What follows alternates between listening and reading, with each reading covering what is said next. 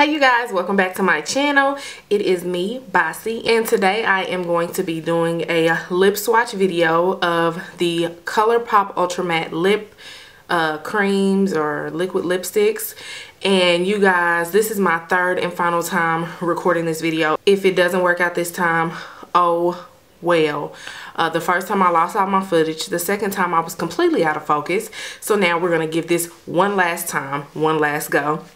So I have nine of the older ones that I promised that I would swatch to you guys. And then I just recently got five of the new limited edition ones. I'm going to go ahead and do lip swatches with no liner. So you're going to see what they look like on my skin tone. So yeah, you guys, I hope you enjoy. And yeah, let's get into these lip swatches.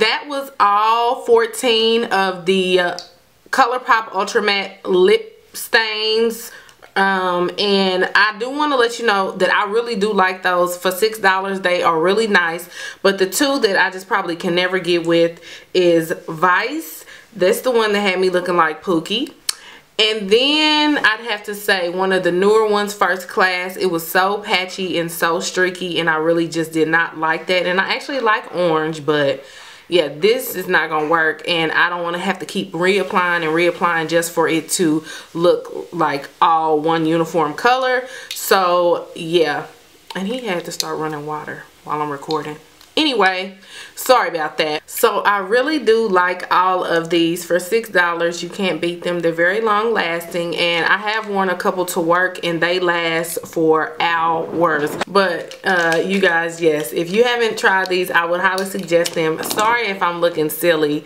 This nut terrence over here is trying to distract me while i'm doing this video. But yeah you guys check out ColourPop um, and they have a lot of affordable makeup, blush and everything like that, lipsticks and all that good stuff. So I will see you in my next video. Please make sure to comment, rate, and subscribe. Bye, loves.